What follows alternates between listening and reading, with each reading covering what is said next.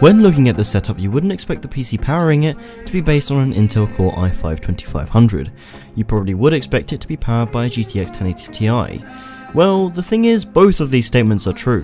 The GPU alone is worth more than the CPU, motherboard, RAM, case, hard drive and PSU combined. You may think this is stupid and, to be honest, you'd definitely be right. Thing is, I'm fucking Tryte boy, and Tryte does some stupid ass things on this channel, like taking so many breaks it kills the channel. So today we'll be taking a look at just what happens when you pair a £30 CPU from 2011 with a brand new £800 graphics card. Now it's important when investigating stupid things to take a step back and see the situation from a broader perspective. We're not looking to see if there's a bottleneck, it's very obvious there will be.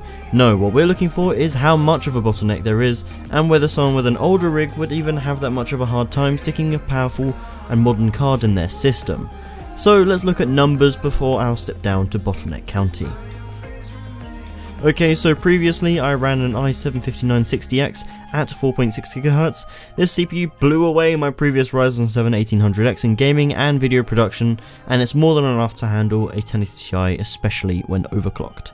With Battlefield 1, because that's a game nicely influenced by CPU cores and speed, on my X99 rig I'd get usually around 140 FPS on average. This is maxed out at 3440 by 1440 on a RAID 0 SSD config, which would alleviate hard drive bottlenecks by the way. This average is across vanilla Battlefield 1 maps after 30 minutes of playtime on each one.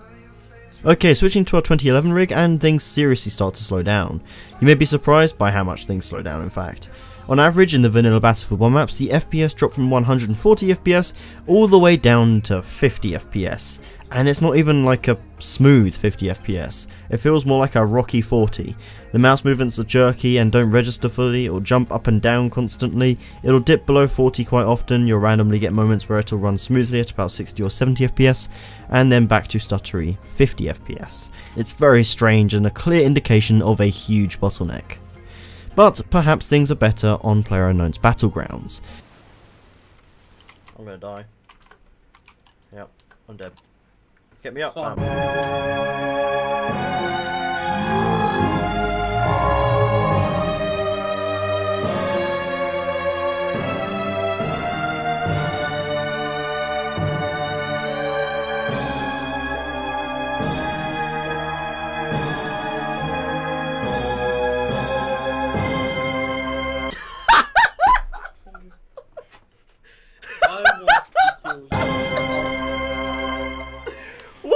What happened there? Testing Battlegrounds proved to be a bit of a fickle process. Even on my 5960X rig, the FPS really varies and testing honestly doesn't show anything reliable, but the story is pretty similar. But wait, perhaps it's not that different, and why? Well, because the difference this time is nowhere near as bad as Battlefield's difference. Before, on average FPS, would be nice and smooth, usually in the 80s. In the starting area, lowest I'd ever see was about 55, with the highs um, like mid-game of 150, usually in the north of the map. And swapping over to the beast, that is the 2500, things aren't too bad. I mean, yeah, the FPS has dropped, now it hovers in the 50s on average, staying in the 70s in areas where there's not a lot going on, but the mouse issues, stuttering and unplayable lag is completely gone. Sometimes I'll play a game with a bit of stutter, sometimes I'll play a game where it will stutter or freeze every few minutes, particularly at the start when it has to stream in all of the buildings, but that's kind of it.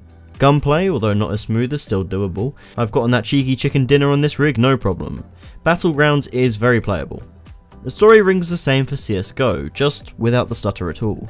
CSGO doesn't require much GPU power, so perhaps that's why the bottleneck may not be as prominent, but dropping from a locked 300 FPS to 130 FPS on average, the game is still fun to enjoy, with not too much difference when switching between the two.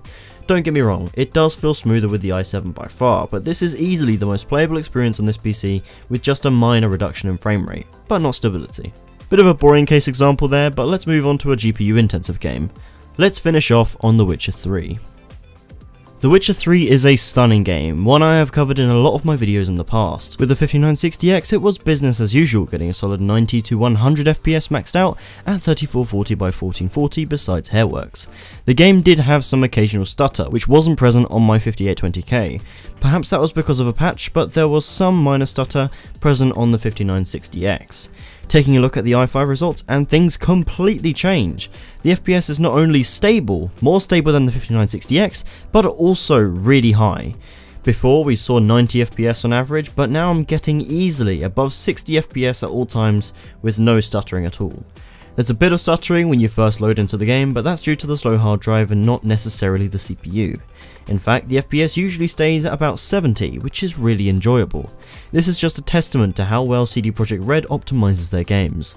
Looking at CPU usage in Witcher 3, the game will take up about 60% of the CPU, so overall usage will be about 80-90% max. Whereas with other games previously mentioned, the games will take up something like 90% usage by themselves, so the dip in performance isn't necessarily a bottleneck per se, just worse performance in general because it's an older and less powerful CPU. Bear in mind all of these tests were done at 3440 by 1440, a resolution not far off 4K, I have found that lowering the resolution introduces more stutter and therefore an even less enjoyable experience, even if the overall FPS is higher. In this case, if you find yourself with a high-end GPU but a lower-end CPU, you should get the GPU to do as much work as possible so it's not demolishing the slower CPU with tasks it just can't handle as quickly. I recommend using Dynamic Super Resolution or VSR if you're on AMD to increase the rendered resolution, not only giving a prettier gameplay experience but also a more stable one. I recommend this especially if you're on a lower resolution display like 1080p or even 1440p. This was an absolute extreme example, and only done for fun and educational purposes.